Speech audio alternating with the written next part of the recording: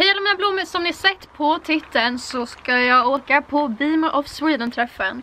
Och idag är det den 11 september och egentligen har Beamer of Sweden börjat redan idag. Började klockan ish, tror 12. Så det håller på idag och sen på lördagen den 12 september.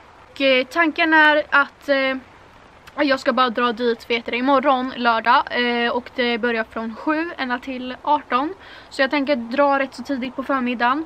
Så nu är tanken, jag ska, alltså bilen ser fan väldigt blank ut. Och jag är tanken att jag ska ta med alpinan dit till den här träffen.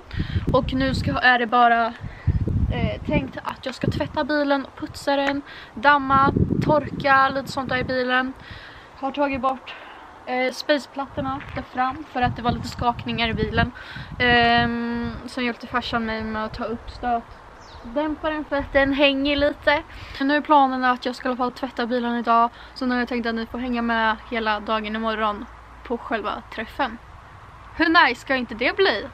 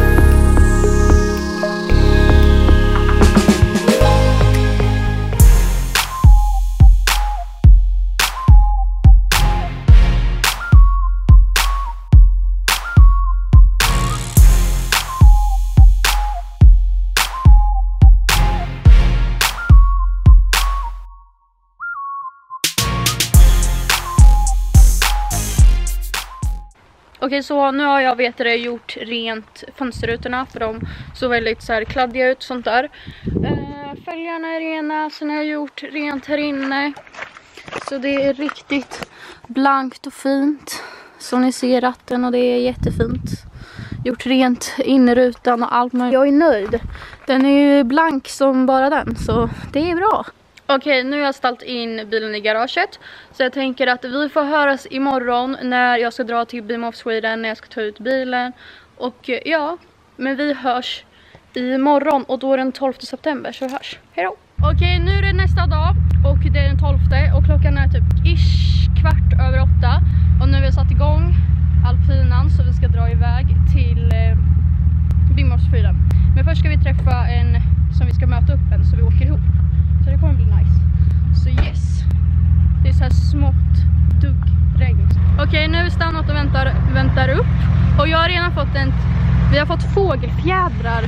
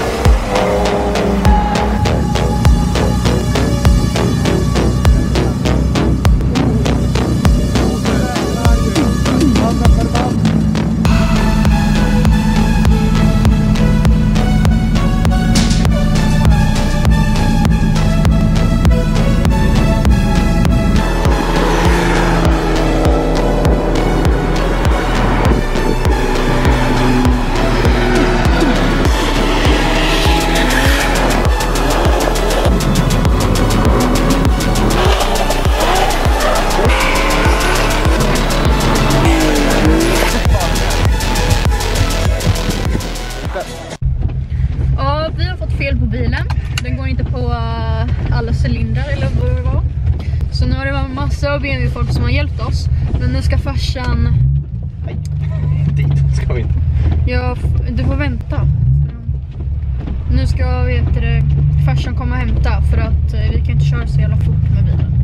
Vi vet inte vad som händer men det börjar spöregna massor och det var ju då det började bluddra. Farsan är här! Vill du köra själv eller? Och ska, vi ska ta med bilen nu. Kolla så spoilern inte hoppar fram den här planken här men... Ja, men nu... Okej, så där när jag kom hem, klockan är nu kvart i sju. Och alltså jag är helt slut.